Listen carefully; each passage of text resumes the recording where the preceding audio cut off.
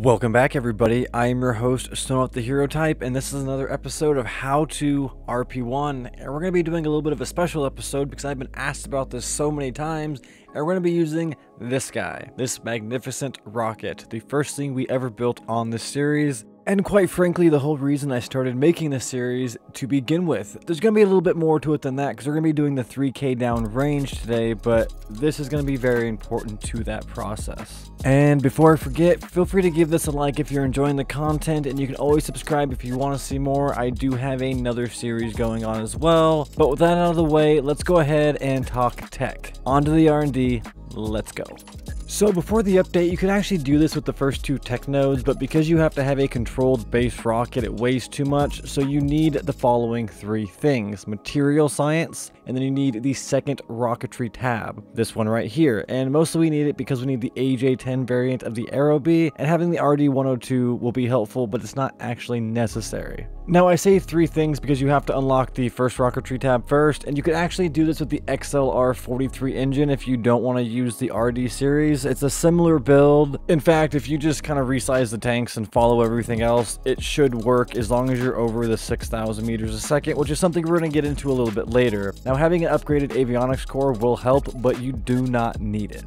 I purely bring this up because someone may be watching this video that already has more than enough unlocked and they're struggling with it, which is why they're here, so you don't have to downgrade it, you can use the upgraded things, it will be the same effect. But with all of that out of the way, we're going to go ahead and go to mission control and talk about the contracts, and I want to talk about a few things about them, just so everyone is on the same page, so let's go do that now. So we're going to start zoomed in, because I want you guys to be able to see this easily. Basically, the big thing I want to point out is you have to control the rocket for at least 50 seconds. The rocket we're going to build is like 63 seconds of burn time, so that's totally covered, but we're actually going to be spin stabilizing this rocket, and there's a few reasons for that. There are ways to do it by controlling the first stage and then spinning the second stage, but that's kind of a hard thing to time, and it costs a lot of money, and this is a beginner's guide, so I'm going to show you the easiest way to get past this contract. And the last thing I want to talk about is the advance fee. It's 34,000-ish, and I want to be able to build this rocket for less than that so we can maximize income and gains. That way we can still spend more money on our KSC. So we're going to accept this contract, but I'm also going to accept a biological uh, sample contract purely because I don't have all the tech unlocked as of now, and the next thing I have building is my biological rocket. So I'm going to grab that contract as well so we have some more funding to play around with. Now when we go over to the KSC here in just a second, it might look a little weird to you if you have not watched the short I should be releasing before this, but it was a short on contract management, so you'll see a bunch of rockets in my queue. Don't worry about that. That won't affect the 3k downrange thing.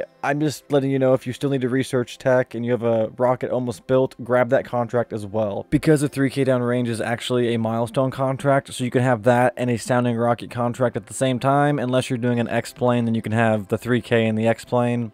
But I'm rambling, let's go over to the KSC now. So the next bit of tech we're going to unlock is going to be the last bit of tech we need to build this rocket. So I'm going to go ahead and just warp through it. But first I'm going to buy a couple upgrade points to speed the process along because I have the money for it. So I'm just going to use some post-production and speed through this. And we're going to go ahead and warp through and get this unlocked. And then we're going to go ahead and hop over to the VAB and get started building on our rocket.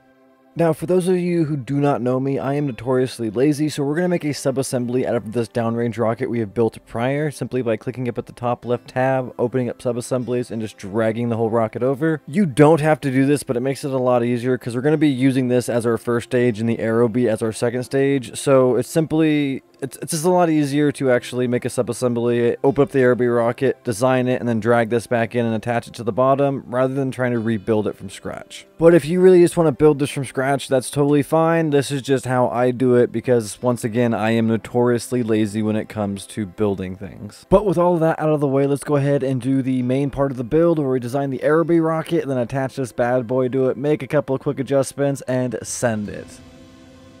So because I like to build off old designs, we're going to open up that Aerobee rocket. We're going to get rid of the Tiny Tim booster and we're going to make this a bit bigger and change the engine. So the place I like to start is I'm going to put the 3.8 diameter Aerobee core rather than the 3.0. Purely because you have to make the rocket way too long at 0.3 meters for the AJ10 variant we're going to be using. So typically just change the route, put the three-point in on there, and then we're going to widen the tank and widen the nose cone. This will cost some tooling, but it's under four grand altogether. The other change I recommend you do is making this a high-pressure aluminum tank because the tooling cost is well, the difference in tooling cost is pretty much non-existent. So go ahead and upgrade that tank. That way you have a lighter tank and you get more Delta V out of it. You want to overbuild this as much as you possibly can because you're not going to get the full reentry because the rocket's going to get destroyed as it tries to come back down through the atmosphere. So the best way to do this is hit the 3,000 kilometers before you come back through that 140 mark, which this rocket can more than easily do. We're going to click on engine. We're going to spend the 3 grand and upgrade it to the AJ10 variants. We're going to switch the fuel out. We're going to make this 0.38 by about 4.1 meters. 3.8 by 4 will work. I like to give it a little extra because I want to get that full 52 seconds of burn time. Now the end goal is you want to have over 6,000 meters a second. I like to use Kerbal Engineer or MechJeb to test that because sometimes the stock one doesn't always work correctly which is why I have it pulled up the way I have it pulled up. After we stretch this tank out a little bit, we're going to go to the sub-assemblies and we're going to grab our downrange rocket. We're going to attach it to the bottom. Notice how I left a decoupler on there. Now, there's a few tips and tricks I'm going to go over with you when we do this because there are, how do I put this? There, there are different ways you can set all this up. I have a preferred way, but if your rocket's a little bit different than mine, your wings are different, you may have to like keep some sounding payload in to balance the rocket and adjust the COL and uh, the COM. But we're to go ahead and get to that once we get this attached and get this changed over. So one of the first things I'm going to do is I'm going to actually widen the tip of this top tank because I want it to match up to the decoupler. You don't actually have to do that. It just looks tacky to me if you don't. And because the change isn't that dramatic, we don't actually have to tool it. Now another thing I wanted to point out real quick just for future reference, you can now use high pressure aluminum tanks to put sounding payload in these rockets. That's part of the update that I missed. I just wanted to say that now because I did say it was only high pressure steel. I have been corrected. I'm showing you guys right now that you can actually do it with the high pressure aluminum tanks, which we don't actually use. I just filmed that little part so I can show you that so I can correct myself from a previous mistake. But with that cleared up, let's keep going. I just wanted to show you that you don't have to have the sounding payload in the rocket if you don't want to, but it may help depending on where your center of lift is. In fact, I'm going to go ahead and check mine real fast just to make sure that everything will still remain stable. Now, you could technically do this by maxing out the burn time for the RD101, but I'm going to want the RD102 anyways, so I might as well upgrade it. We're going to go ahead and bring this up a little bit so I can stretch out the tank, update the engine, and try to give myself a little over uh, 6,200 meters a second of total delta V, which again, I'm using the Kerbal Engineer screen to verify that. So we're going to spend the $4,500 real fast. We're going to buy it because it is a slightly better engine. You get more thrust and a better ISP. And then we're going to go ahead and adjust the tank to give us the delta V we need while still keeping our center of lift and center of mass set up in a way that the rocket will remain stable. I'm just doing some quick checks to make sure everything is how I want it, making sure the tooling cost isn't too astronomical, and we need to adjust our avionics, which because we're going to be so close, we won't actually have to retool it, which is super nice. So you may have to retool yours, but it shouldn't be too much money, so don't really worry about it. Now that we have all this set up, we need to make our wings a spin stabilized setup. We're basically going to do the same thing we did with the last spin stability. I'm going to use that blue line to line the wing up. I'm going to turn off snap, use the rotate tool, and slightly tilt it one direction. It doesn't really matter which direction. Either way works. I just prefer to go right. Now, the other thing I want to mention real fast is you don't want to change the wings on the Aerobee. Those are just going to give it some glide stability, but you don't have to actually tilt those. It could cause some weird issues to happen. Now, once I'm happy with my wing setup, I'm going to offset them back to that 45 degree mark like mine are so I don't catch the launch clamp.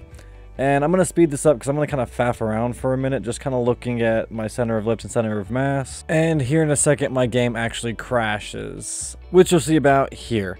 Now, the next thing I need to do, for some reason when I reloaded it, my avionics was all of a sudden insufficient, so I'm going to change those once again to make sure I have sufficient avionics, because you have to have control from the start of the launch. So it's very important your avionics are sufficient at the beginning of the launch, and there's no room for error.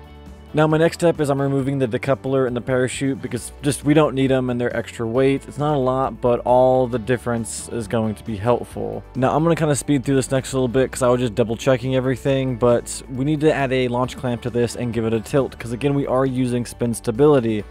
You may need to do a couple of launches to get it lined up, but I'm going to go over two simulations with you the first I'm deeming, uh, how do I put this? Uh, task failed successfully because it does work, but it doesn't work great. And then we're going to do another simulation. I'm going to kind of show you what you're looking out for. So we're going to start with a real basic tilt, and then we're going to launch this rocket in a simulation. I'm going to kind of show you some of the things I do to get it to work better, as well as a few things that you want to try to avoid. So let's go ahead and do that now.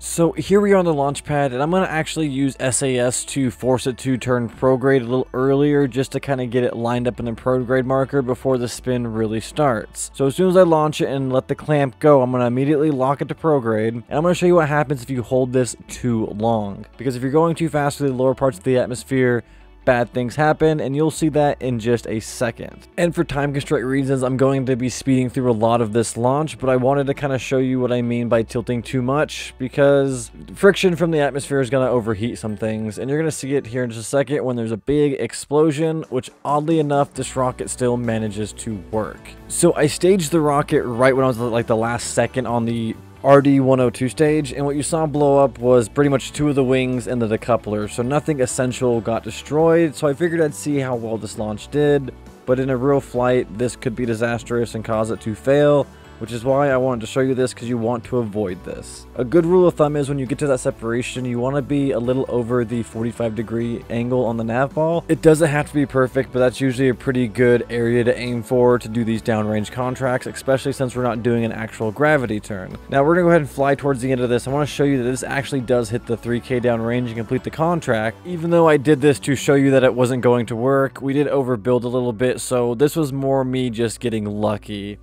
Uh, once that contract flips over, we're going to cut back over to the launch pad. I'm going to kind of show you what I like to do when doing this contract. So, like the first flight, we're going to start by locking SAS and going into prograde, but I'm going to pull it off a lot sooner. Um, I like to aim for about 10 to 15 degrees before I let it go, because once you get the spin going, you, you need to let the SAS off because it can actually affect the spin, or if you want to, you can simply just keep adjusting the starting angle until it kind of does what you want it to, and you don't have to control it at all. I just prefer to do it this way because you get a little bit more control over it. Now we're going to start speeding the footage up again because we've kind of already seen this, but I want you to watch very carefully to my speed and my altitude. I feel like I've said this before, but if you notice, I'm under a thousand meters a second until I get to about 15 kilometers above the surface. That is a good aim because it's just the right angle to keep you out of the extreme drag losses. And by the time you start getting a little higher, you won't have to worry about heat as much.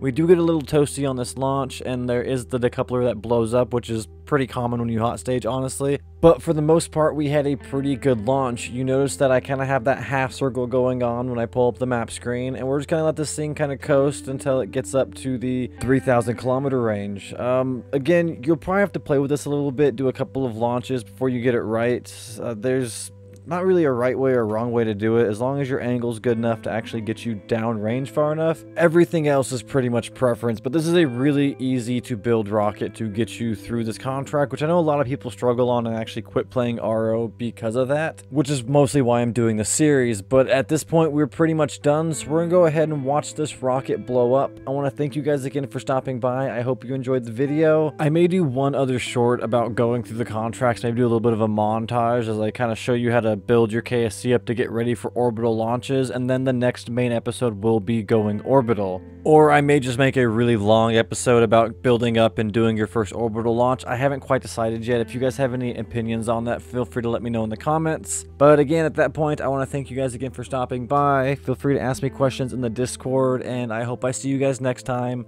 in another episode of How to RP1.